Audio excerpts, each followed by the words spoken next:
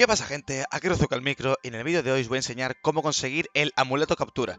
Este vídeo va a ser un vídeo bastante rápido y sencillo, ya que no es nada difícil de conseguir, pero es súper útil porque como podemos ver aquí, aumenta la probabilidad de lograr una captura crítica al llevarlo equipado. Curiosamente, apenas vibra.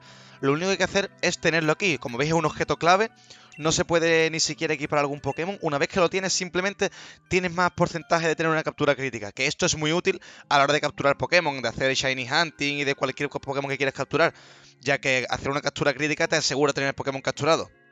Como veis ahí me he puesto solamente a Cooper en el equipo para no spoilearos con ningún Pokémon, ya que estamos hoy a 17 de noviembre y aún hay gente que no sabe mucho del juego. Vale, vamos a abrirnos aquí el mapa para enseñaros dónde es.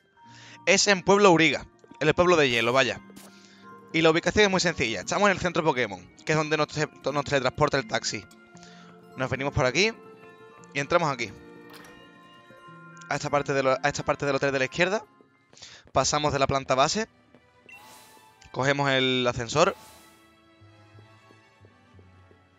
Y nos venimos a esta, esta habitación de aquí del fondo. ¿Y veis ese hombre que al fondo que parece un doctor? Pues él nos dice que es el creador del juego la primera vez que hablamos con él. Y al hablar con él nos cuenta que es el creador y nos da este objeto. Y nos dice que cuando completemos la Pokédex entera volvamos a hablar con él.